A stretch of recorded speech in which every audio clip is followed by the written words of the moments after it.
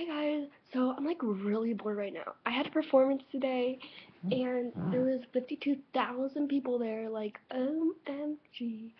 And I'm sick. I've been sick for three weeks. That is not fair. So, that kind of sucks, but yeah, hold on, let me get my pillow. Fuzzy, fuzzy, fuzzy pillow. But yeah, I've been sick for three weeks. And then I had this performance today and I think I sucked. So, front of 52,000 people. But I got, um, uh, everybody clapped, everybody cheered for me. It was so awesome. But, um, yeah, so I'm like really bored, so I'm just making all these like random YouTube videos. I'm so bored. So, yeah, I'm really bored, like, but I was like really hyped from like my performance today.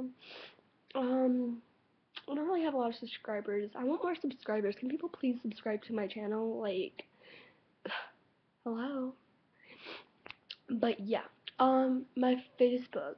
I am getting friend requests from a Jenna Marie Mason, but like I know Jenna. Her real name's Hannah. Hannah Marie Mason. Um, she used to be a site model, actually. Um, and the people that are pretending to be her and sending me friend requests, I'm not gonna accept your guys' friend requests because Hannah doesn't have a Facebook. So sorry to burst your bubble, um, of your like fantasy imagination, but I'm real and like don't have fake friends. So if you guys can please stop sending me fake profile stuff, that'd be amazing. So, yeah, that's just something I wanted to say. And then there's another YouTube channel of me singing, but that is not me.